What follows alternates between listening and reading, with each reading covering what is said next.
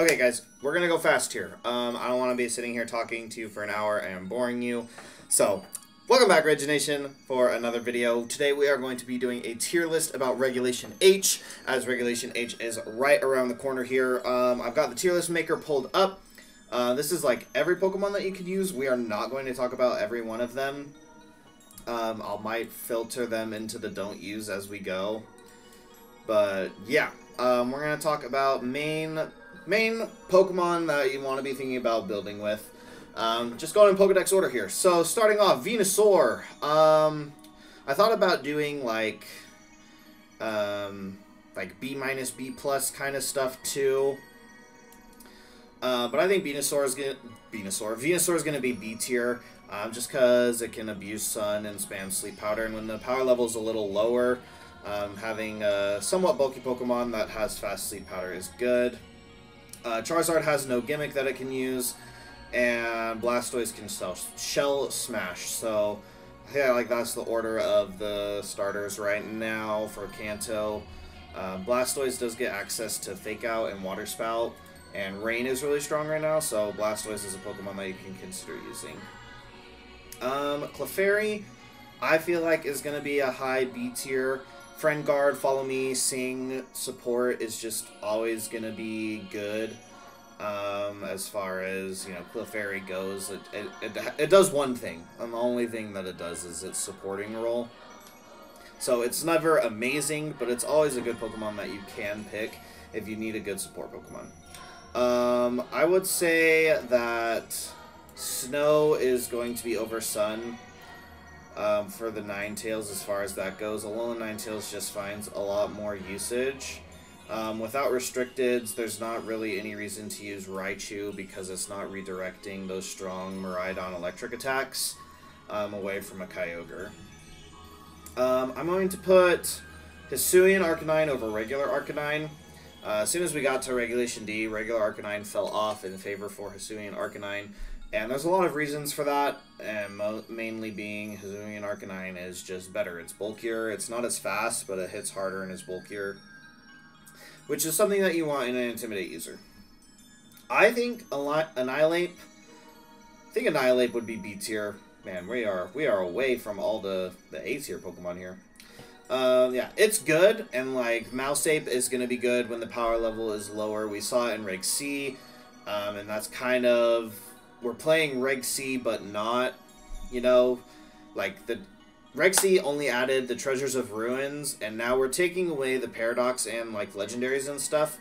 Um, but in the Indigo Disc and uh, Teal Mask, there was a lot more powerful Pokemon that were introduced that weren't available back in the Reg A, Reg B days. But I still think Annihilape is going to be good. Um, let's see. Next useful. The Weezings.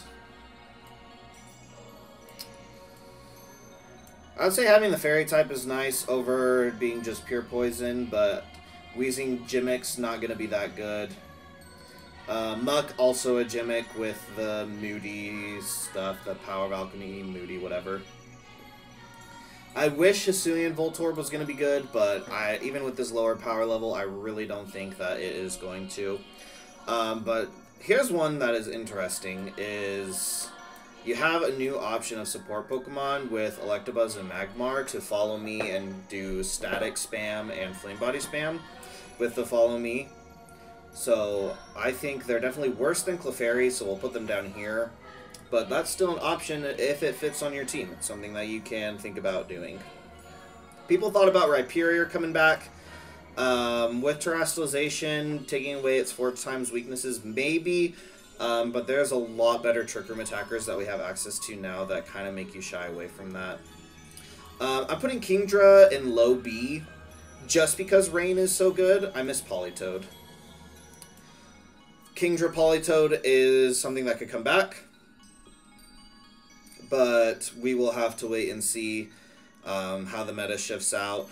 The early tournaments have shown that Rain is just super strong, and it might continue that way. Um, but, you know, people always find a way around the archetypes.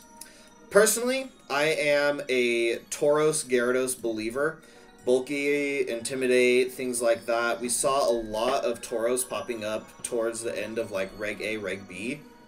Um, both breeds, both the Blaze and the Aqua breeds, if you can remember back to VGC 23, there was really a lot of them that were popping up, and they were proving to be pretty good, so those can definitely make a comeback.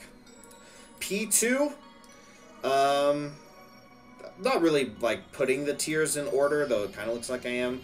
Really good, solid Trick Room setter, especially with Tera, because it wants to run Tera Blast, because it gets stab on it, and then when it Terastallizes, it also gets stab on it again.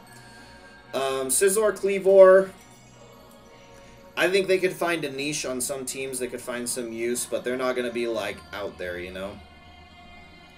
Um, out of all the evolutions, it would be Sylveon.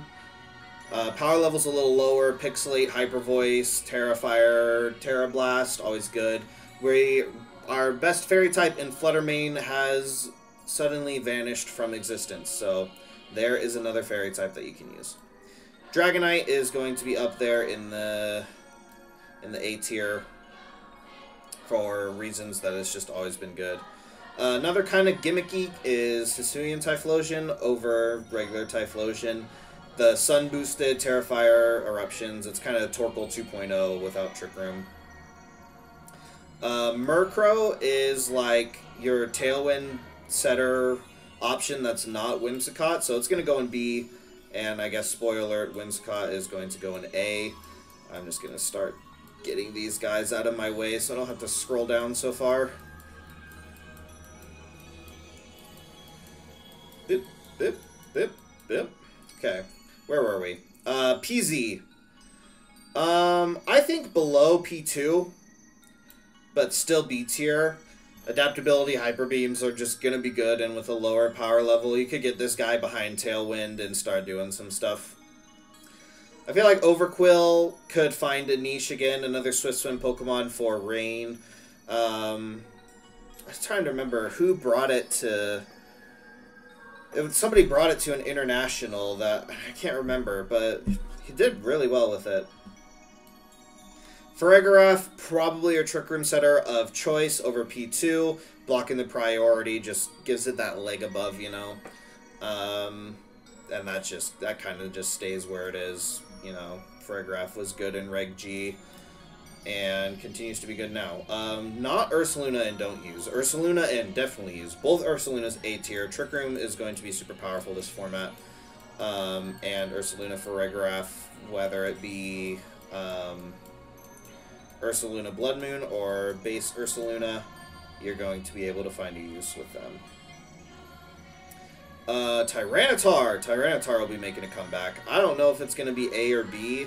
I think B currently, just because Rain is so strong. Um, like, you can overwrite their Rain with your Sand, but that still doesn't take away the fact that you're weak from water.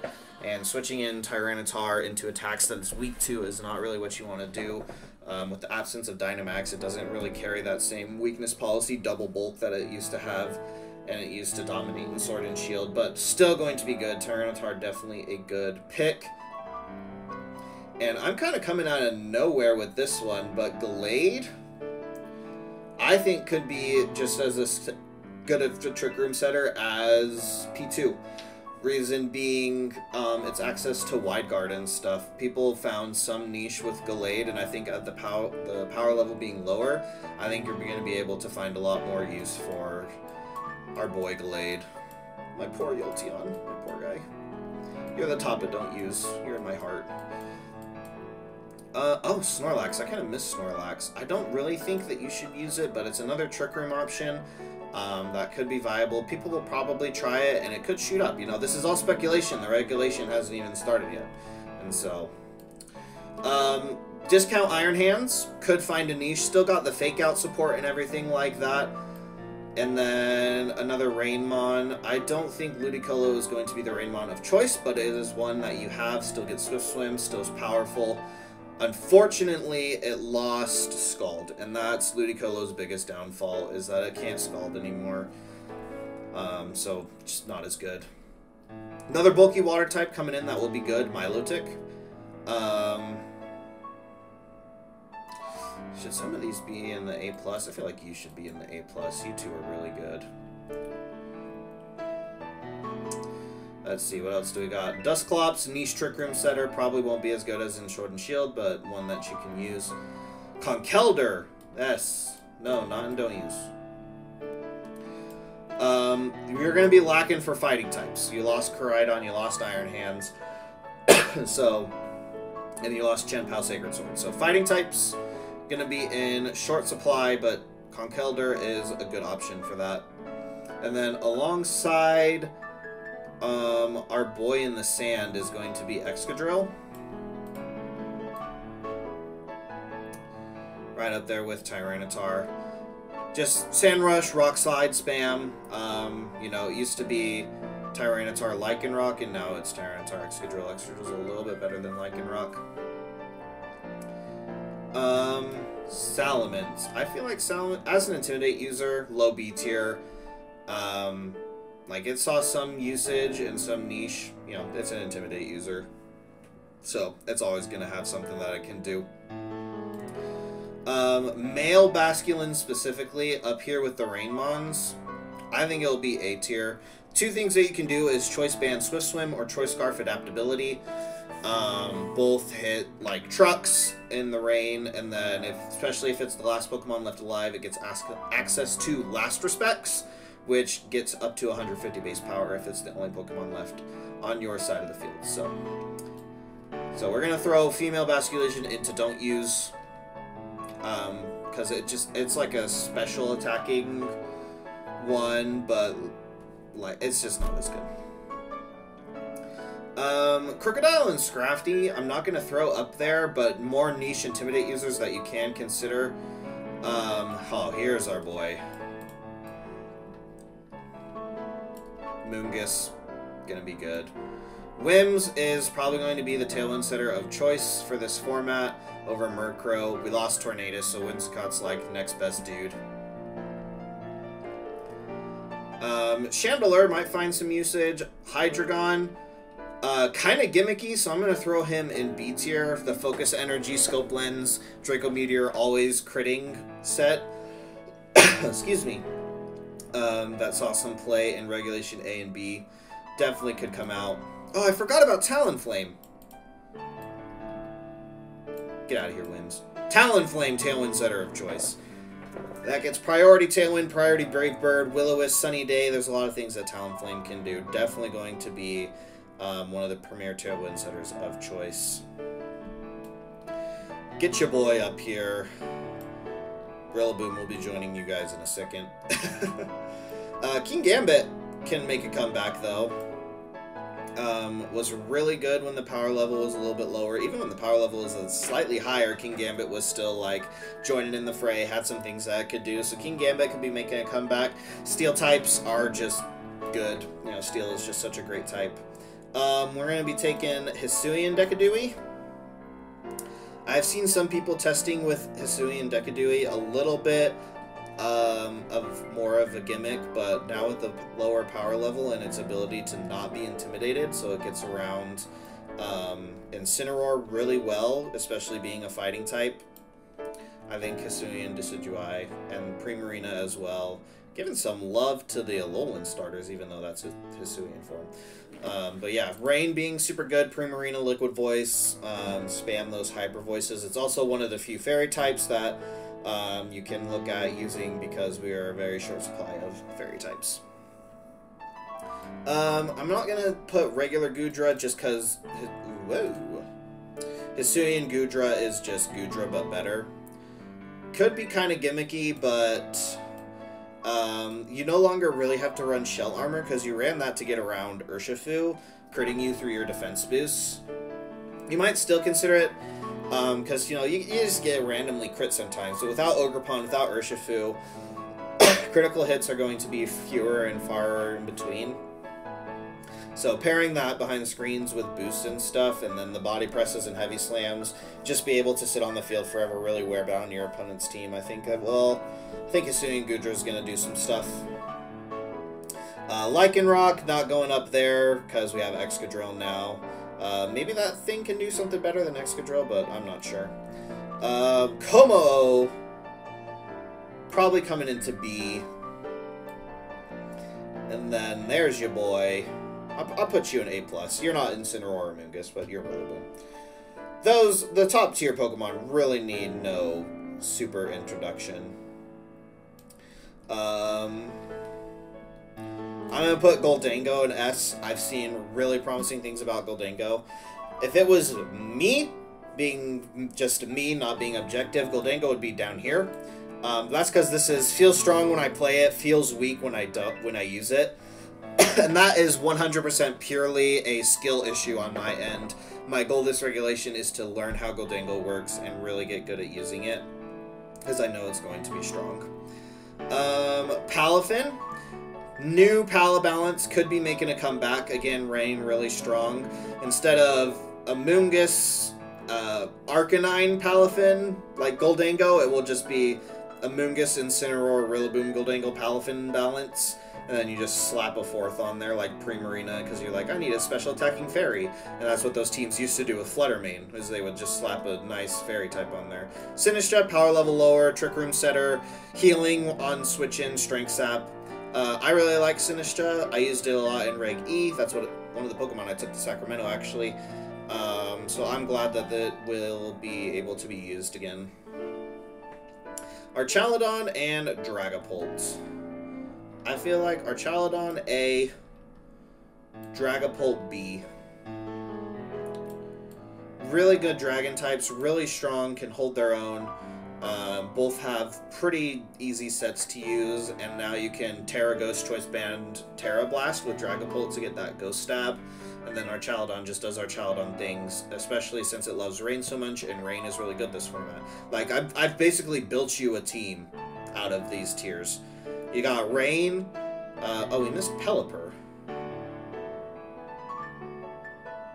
Pelipper, Pelipper, Pelipper. Rain setter of choice.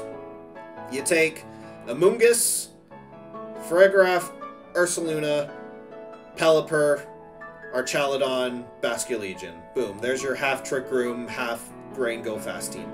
Go win a tournament. Um, Baxcalibur. One of the pseudos I feel like can make a good comeback. Uh, these these guys are not ranked, but like things that I'm putting more towards the top of B tier are ones that I think will be better. So like this top line here is like B tier but good. And like just because they're B tier doesn't mean um like they're bad mods. It just means like you take only one of those to fit on your team according to your team's needs. Take like one or two of these, you know, like all three of these, one of these, one of these, one of these, and boom, there's your team.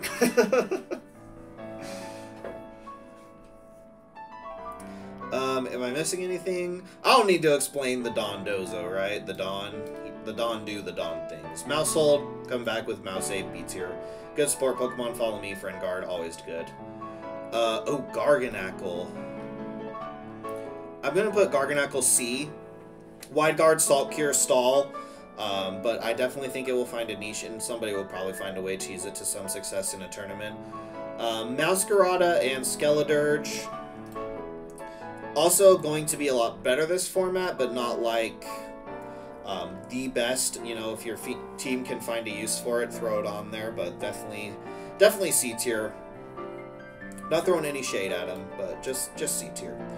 Uh, Indeedee, Psychic Terrain, a good supporter for Trick Room teams and for just setup teams in general. If you want to start Swords Dancing or whatever. Indeedee is your go-to follow me boy. Um, Barraskewda would be good if we didn't have Basculegion, but Basculegion will definitely take it over.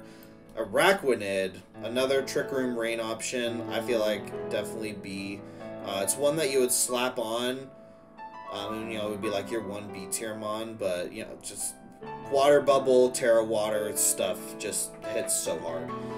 So definitely going to have some sp space for that. Um, we could see Pawmot do something. Um, Revival Blessing is a thing, so you definitely can't discount it. You know, it also gets fake out support, so anything that gets fake out in a good move like Revival Blessing. Um, Comfey could come in, probably D tier. Uh, it also gets Trick Room and like the floral healing and stuff, but um, without Dynamax, like just healing, constant healing up that bulk doesn't do as much.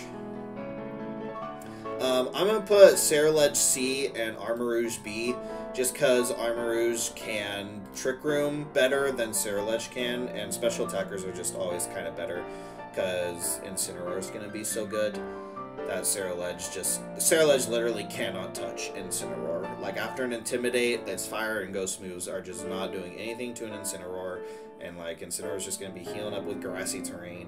Especially since this thing also likes to Tera Grass, Incineroar also resists grass. So sorry for your Ceruledge believers. Hatterene and Grimmsnarl um, Hatterene B, just a good Trick Room attacker, but not the best Trick Room attacker. I mean, Ursaluna is sitting right there, bro. But Grimmsnarl, good support Pokemon. A tier. I'm a Grimmsnarl believer. If you do the correct things for Grimmsnarl, you have to have a good set for it. Hydrapple, B. Somebody might find a niche for it now that the power level is lower. It got introduced when the power level was too high, so I feel like people have kind of forgotten about it, but maybe somebody will pop off with it. Um, Gothitelle, probably a C tier support Pokemon right now, unless you're Wolfey trying to do Perish Trap, in which case Gothitelle is an S tier Pokemon. um, and like browsing this list, is there anything that I'm missing? Uh, Hisuian Lilligant. Hisuian Lilligant, uh, probably C, but you know you've got Torkoal in this format, and so that is a me let me restart my music. Uh, this is awkward. You guys haven't been hearing the music the whole time. Um, well, I guess I'm just going to have to edit in some music then. I'm going to keep listening to it though. um, let's see. Smeargle. Gotta put, gotta respect Smeargle, at least B. Let's see, is there anything else that I'm missing? Houndstone might be able to do something. Ah, Glimmora. The Glimmora Dondozo Toxic Stall. Yes, that is a strategy that it will be coming back. Um, Metagross wishes it would be good. Gastrodon. Gastrodon might pop off because Rain is so strong. A lot of water moves, but we'll have to wait and see on Gastrodon. Taking the blue one. Blue and green, obviously. Screw this one. Um, Hisuian Zoroark is might be something that we see. Kind of drop it in the C niche tier. I feel like that's what C tier is for me. Is kind of like niche, or it can do some stuff, but I forgot to grab Torkoal when I was talking about it. Um, yeah, C tier can like do some stuff, kind of more niche, but like on the right team, it will be strong and something that you have to worry about. Uh, the Rotom forms. I feel like Rotom Heat will be above Rotom Wash this time around. Where'd you go? There you are. As well as Rotom Cut. Those are just like the good Rotoms. Power level's a little lower. Rotom likes that. Um, but I would I would go with Heat if you're looking to use at a Rotom right now. But, you know, again, we'll have to wait and see. The regulation hasn't even started yet. But these are kind of like my initial thoughts. Uh, let me know what you guys think in the description below. I feel like this tier list is similar to a lot of um, what are the other what the other players are saying, but hopefully I was able to bring in some new insights or some new thoughts that people hadn't really like thought about yet. But again, like if you're new to team building and you're wanting to get into Regulation H, I would focus on these first four tiers. Choose all three from S if you want you know, a couple from A plus and A, one or two from B if you've got room for it, and save the niche niche picks for when you're better at team building. And then all these guys, unfortunately, sad to say, um, not going to be the most viable. But yeah, that is my thoughts on Reg H. I hope you guys enjoyed. If you did, make sure to hit that like button and subscribe. Um, we are I'm cooking up a Reg H team offline. Um, it's kind of coming together right now, and I'm kind of keeping it a secret until we can do some Reg H content on the channel. So, make sure you hit the sub button because you'll want to be around for that. But yeah, thank you guys so much for watching, and I will see you all in the next video. Bye!